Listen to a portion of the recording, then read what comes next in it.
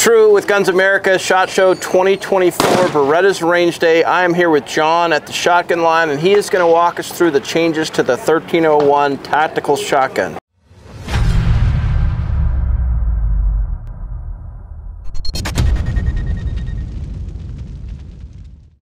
So tell us what's new on this, John. Okay, let's do it. Okay, so the standard stock here, 1301, looks very similar to the Mod 1. The Mod 2 has some changes, however. Number one, you will notice the fore end has changed. It's a much more aggressive grip texture, and it also has the M-Lok kind of like you saw on the A300 patrols in okay. the past. The tube up front doesn't look that much different, but it is now a two-piece tube. I can actually change out the front. It's because it's two pieces, I can take it apart and add additional links or more rounds to this tube where you couldn't do it as easily in the past. Okay, what is this? What's the capacity on this now? Seven plus one. Okay. At the, at the point it's at right now. You've got extra spacers that you can put in that, that increase that if you want to. Us right now, no. Okay. But aftermarket, you'd be able to got do it. it correct. Got it. Um, I'm gonna go ahead, it's, it's open and clear now, but when I close this, you'll notice the lifter now is the Pro style lifter. It stays up and out of the way for easy loading. Okay. The trigger is now a semi-flat trigger. You'll feel that, you'll feel the difference when you shoot it. It's a really nice trigger group okay. in there now. Otherwise, it's all pretty much, uh, pretty much the same from there on back. Okay. So Pro lifter, semi-flat trigger, different stock, two-piece tube. Four okay. major changes.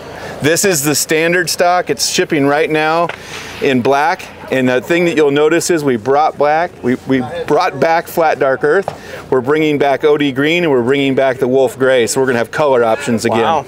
Okay. We're also shipping this right now in black and flat dark earth with the Mesa Tactical pistol grip. Okay. Now, fast forward down the road a ways, you'll enter in to the Mod 2 with the chisel, chisel manufacturing stock. These will be built most likely in limited runs, maybe a thousand units, maybe 500, maybe 1500. We're not exactly sure yet. Okay. But the chisel stock will come most likely in a folding capacity. This one's a fixed, but you'll notice some really interesting features here. It's first off, it's got the ability to take AR style AR grip on it. This is a Daniel, Daniel Defense, Defense, for example, yep. on there now.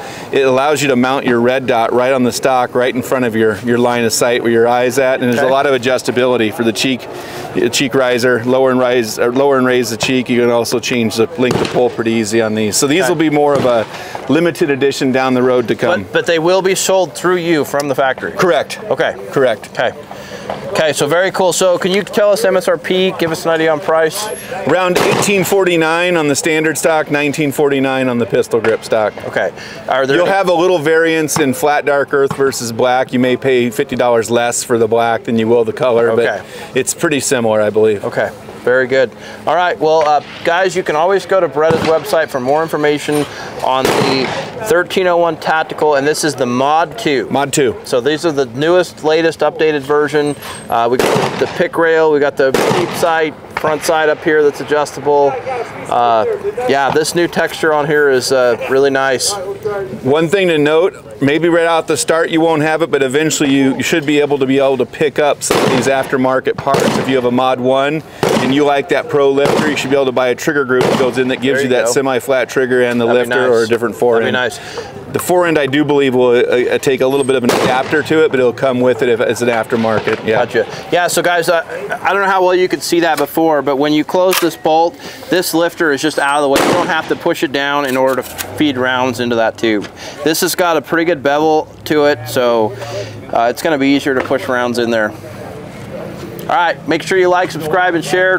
Go to GunsAmerica. We'll see you next time. Thanks for watching.